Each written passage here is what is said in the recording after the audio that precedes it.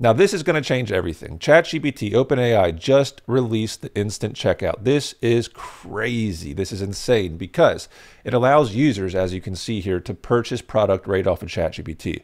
Why does this matter? It matters so much because more and more ChatGPT is taking over, right? More of Google's market share. And whoever can optimize for this right off the bat, if your ecom website can figure this out, you're going to be ahead of the pack. Therefore, right? Simply put, you're going to make more money. Now, I've already optimized websites for this, right? Preemptively. We already kind of saw this coming. We already have custom GPTs to go over in this video, right? We're going to go over examples. I'm going to show you how to optimize your website so you can show up in this new ChatGPT feature. Now, as we begin, we're going to go over a lot of different things. I want to go over this LinkedIn post here in a second, but check it out. This is important. More than 700 million people turn to GPT each week. That's crazy. And check it out. Plus users, pro users, and even free users can now buy directly from US Etsy sellers right in chat with over a million Shopify merchants. Now, this is important. So you have Etsy and you have Shopify, the two platforms which are supported right now. Just because you have a Shopify ecom website does not mean you are in the clear. That's very important, right? So coming over here, Josh has this really good post. I like this a lot. He said that I've spent hours kind of going into the documents. So here's the documents. You know, you can go here. I'll have links in the description. You can learn about it. These are dev documents. But he says everyone's first instinct will be just to map their Google shopping feed over. I think that's a mistake. Now, this is where I agree. He says winning in ChatGPT shopping at this stage may well come down to data density. That's the key, data density. And this is a bit different than how most people do things. Okay, so if you want to make a lot of money with this, pay close attention. We're going to go over a real life example. You're going to be surprised on how this goes. This is a hyper important popular sunglass hut website. This this website dominates in Google. But will this website dominate in GPT as it becomes more popular? And you might be surprised, right? I'll give you my guess. I don't think it's really optimized as it should be right now. So what we have here in sheet number one is every single different attribute you can have for structured data. If I were to scroll down, you're going to see different things here. So we have the OpenAI flags. You can enable search, enable checkout. Okay, cool.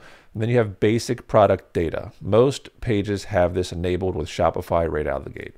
And then you have a little bit more complicated things such as item information. You have condition, brand, material. All these things are basically injecting what your item, what you're selling, the thing you're selling, what is it all about? What is its, you know, primary material used, its overall size, these type of things. Then you have media such as images, videos, and all these things. It's a lot. It's like over a hundred different things. And what we are able to do is take that specific URL, the one we are looking at earlier, right here, and let's just see how it performs. So what I have, I have a custom GPT right here. If I scroll up a little bit, if I keep coming, and what it's going to do, it's going to show us, okay, value yes and yes for these type of things, these attributes. Good. What I'm looking for is NA, right? It does not have these certain item information attributes. It's missing dimensions, length, width, and height, and weight, right? It's missing a video link, model 3D link. It's missing all these different sales, these price and promotion uh, attributes.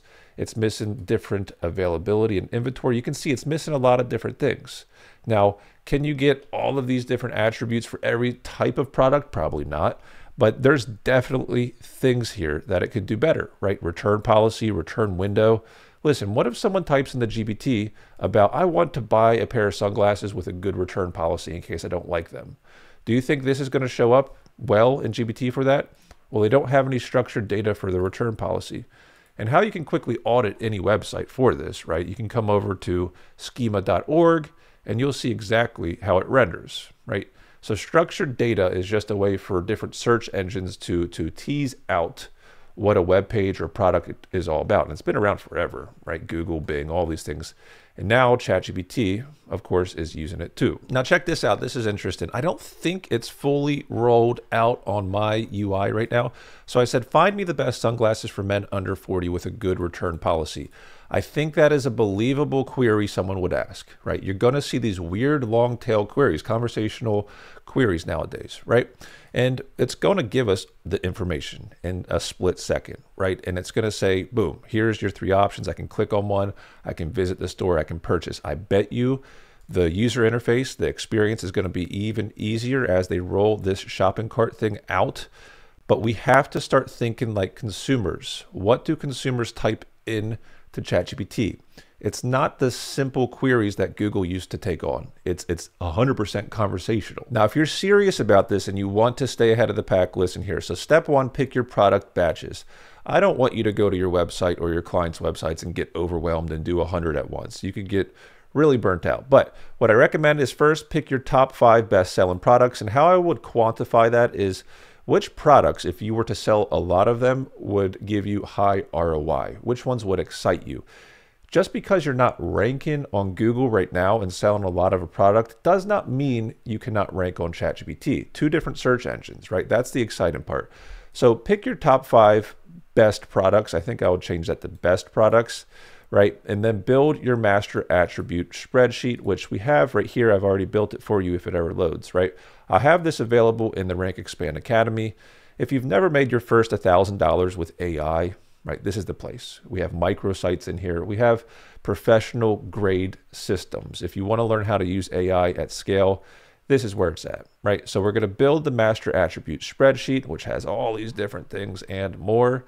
And then we're going to fill it out. That's the born work, the important work. Because remember, my theory, as well as Josh's theory, if LinkedIn decides to load, right, is that winning in ChatGPT shopping at this stage may well come down to data density. If it gives us options to fill out via structured data, why not fill out every single form available?